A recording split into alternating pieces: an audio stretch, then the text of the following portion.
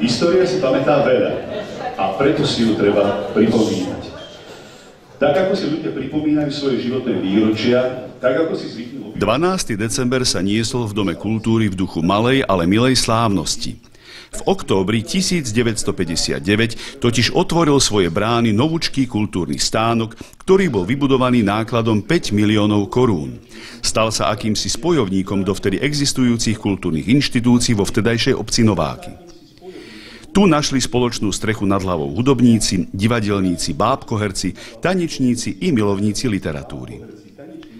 V kultúrnom programe pri príležitosti 60. výročia jeho otvorenia boli postupne spomenuté oblasti záujmovej činnosti a ich predstavitelia, z ktorých mnohé dodnes majú svojich nasledovníkov. Významnou kapitolou nováckej kultúry je existencia dychového orchestra, ktorý v rôznych podobách bez prestávky funguje do našich čias. Dnes má táto dychovka podobu malej dychovej hudby pod názvom Novácka dychovka. Jej organizačným vedúcim je Martin Zamiška a umeleckým vedúcim Libor Plevka. Novácka dychovka sa postarala, tak ako kedysi pri všetkých významných udalostiach v Novákoch, o výtačku hostí pred Domom kultúry.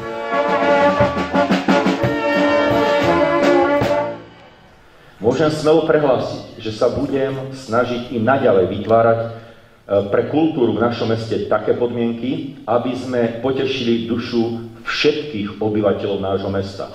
Želám si, aby aj v nasledujúcich rokoch v tomto príbytku Mús naďalej pulzoval šúry kultúrny život a aby sa tu všetci návštevníci dobre cítili a aj zabávali. Oh,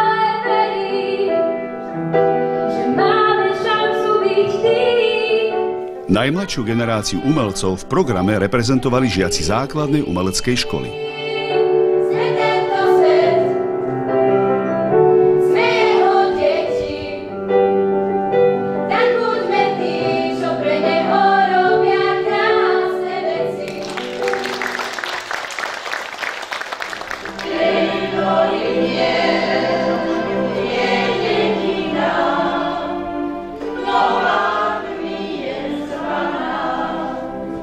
Aj spevácké umenie malo v Novákoch svoje miesto.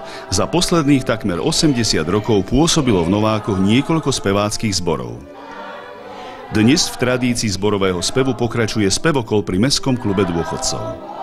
Čiperní aktívni seniori sú súčasťou nielen vlastných kultúrnych programov, ale aktívne spolupracujú aj pri celomestských podujatiach, Batra zvrchovanosti či Slovensko spieva koledy a bol súčasťou aj programu pri príležitosti 60 ročnice Domu kultúry.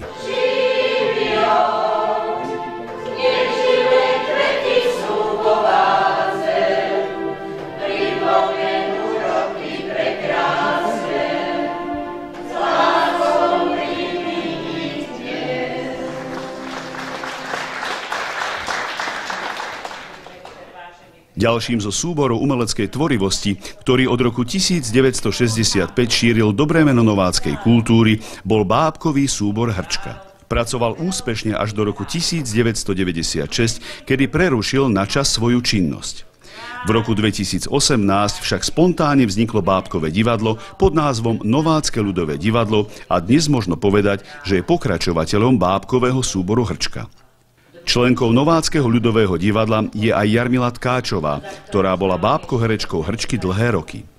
V kultúrnom programe sa predstavila krátkou rozprávkou o šípkovej ruženke. Aká je pekná. Musím ju poboskať, keď ma tu nikto nevidí. Ako povedal mládenec, tak aj spravil.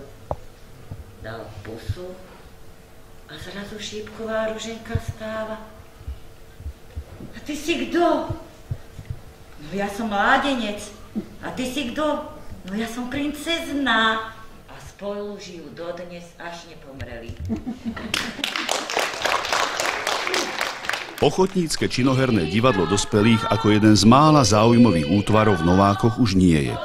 Avšak dramatizácia tu nie je neznámy pojem. Sice nie divadelné hry, ale ľudové zvyky a obyčaje pravidelne dramatizujú do podoby folklórnych pásiem členky folklórnej skupiny Marinka.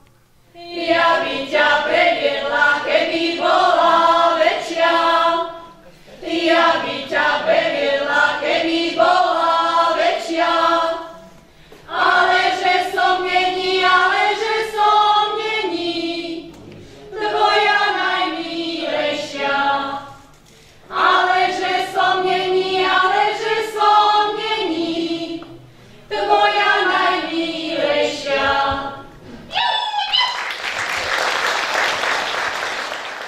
závere kultúrneho programu mali možnosť diváci vidieť unikátne zábery zo 16 mm filmu, ktoré pripravil Štefan Tajs. Ten sa doslova a do písmena piplal s každým okienkom filmového pásu, aby diváci kultúrneho večera, ktorý pri sledovaní bezzvukového filmu prešiel do neformálnejšej polohy pri pohári vínka, mohli spomínať na časy dávno minulé. Mnohí sa na záberoch spoznali, spontánne komentovali tých, ktorých vo filme spoznali.